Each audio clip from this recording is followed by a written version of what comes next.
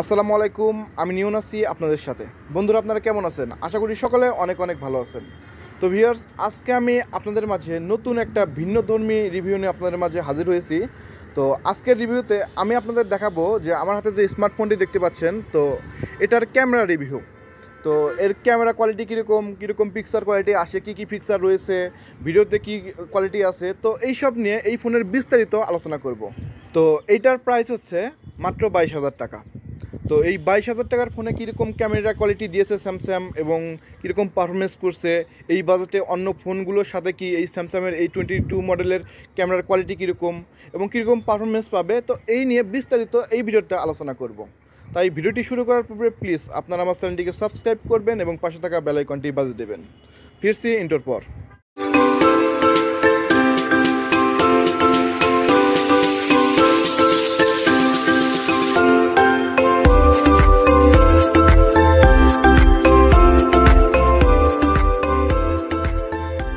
ফোনের ক্যামেরাতে ব্যবহার করা হয়েছে কট ক্যামেরা সেটআপ যার প্রাইমারি সেন্সর হিসেবে থাকছে ফোরটি এইট মেগাপিক্সেলের একটি ক্যামেরা এবং সাথে থাকছে এইট মেগাপিক্সেলের একটি আল্ট্রা ওয়াইড শুটার এবং এর সাথে আরও রয়েছে টু মেগাপিক্সেলের একটি ম্যাক্রো লেন্স এবং সর্বশেষে যেটি রয়েছে সেটি হচ্ছে টু মেগাপিক্সেলের একটি ডেপ সেন্সর এবং এর সামনে ফ্রন্টে ব্যবহার করা হয়েছে থার্টিন মেগাপিক্সেলের একটি ক্যামেরা।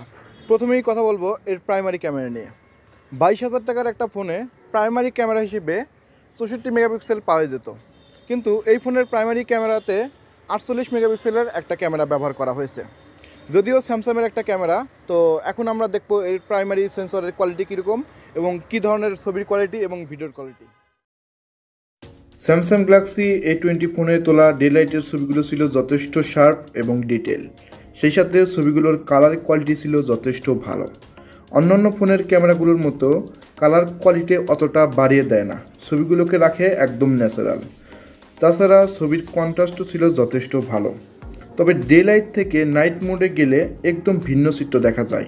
রাতের ছবিগুলো ডিটেল খুব একটা থাকে না, অল্পতেই নয়েজ চলে আসে। তবে বেশি আলো পেলে ছবিগুলো ভালোই আসে।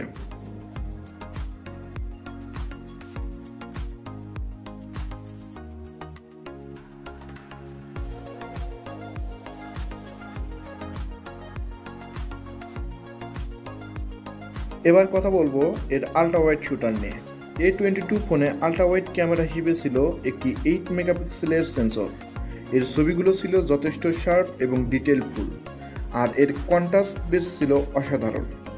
এই এইট মেগাপিক্সেলের ক্যামেরা দিয়ে আপনারা hundred and twenty three degree field of ভিউতে ছবি তুলতে পারবেন।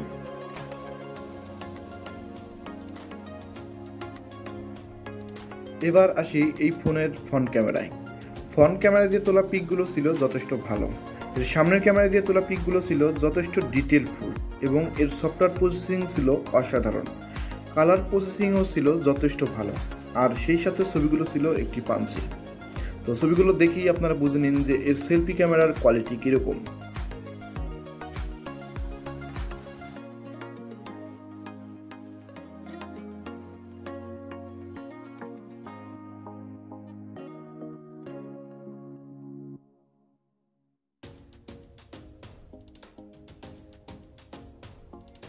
এই মুহূর্তে আপনারা যে ভিডিওটি দেখছেন, সেটি হচ্ছে Samsung Galaxy A twenty two এর প্রাইমারি সেন্সর দিয়ে ভিডিও শ্যুট করা। তো ভিডিওর কোয়ালিটি কীরকম, সেটা তো আপনারা দেখেই বুঝতে পারছেন। এছাড়াও এই ফোনের ক্যামেরাতে ভিডিওর ক্ষেত্রে একটি বিশেষ ফিক্সার ব্যবহার করা হয়েছে, যা হচ্ছে ওআইএস যেটা আপনাকে স্টেবল ভিডিও করতে সাহায্য করবে। অর্থাৎ আপনি এখানে আপনার স্মার্টফোনটিকে হাতে ধরে স্টেবলভাবে ভিডিও শ্যুট করতে পারবেন। আর সেই ভিডিওটি হবে অনেক স্মুথ আর এখন যে ভিডিও ফুটেজটি আপনারা দেখছেন, এটি হচ্ছে Samsung Galaxy A twenty two ফোনের ফ্রন্ট ক্যামেরার ভিউ তো ভিডিও কোয়ালিটি কীরকম সেটা তো আপনারা দেখেই বুঝতে পারছেন। তো এটাই হচ্ছে আমার এই ফোনের ভিডিও কোয়ালিটি তো ভিউয়ার্স ভিডিওটি যদি ভালো লেগে থাকে, তাহলে অবশ্যই আপনারা আমার চ্যানেলটিকে সাবস্ক্রাইব করবেন এবং পাশে থাকা বেল আইকনটি বাজিয়ে দেবেন। ধন্যবাদ, আবার দেখা হবে নতুন কোনো ভিডিওতে। ততদিন পর্যন্ত ভালো থাকুন, সুস্থ থাকুন, আল্লাহ হাফেজ।